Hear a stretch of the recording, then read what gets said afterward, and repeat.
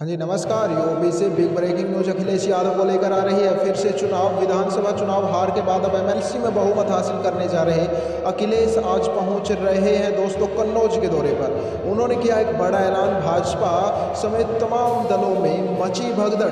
Video को like कीजिएगा, comment और शेयर ज़रूर करें। चुनावी हार के बाद मैदान में उतरेंगे अखिलेश यादव। एमएलसी चुनाव के मद्देनजर आज कन्नौज के दौरे पर जाएँगे। विधानसभा, विधान परिषद के चुनाव 9 अप्रैल को होंगे। 27 सीटों के लिए चुनाव होने जा रहे हैं, जिनके नतीजे 12 अप्रैल को जारी भी किए जाएँगे। और विधानसभा चुनाव में सत्ता की चाह दूरी रह जाने के बाद अब समाजवादी पार्टी के मुखिया अखिलेश यादव विधान परिषद चुनाव में अपने प्रत्याशियों को जीत दिलाने के लिए कन्नौज दौरे पर जा रहे हैं। वहीं इससे पहले भी वो बड़ा ऐलान कर चुके हैं कि एमएलसी चुनाव में भाजपा को कड़ी टक्कर देंगे। यहाँ तक कि दोस्तों, उन्होंने ये भी साफ़ कर दिया है कि विधान परिषद में सपा का ही बहुमत होगा।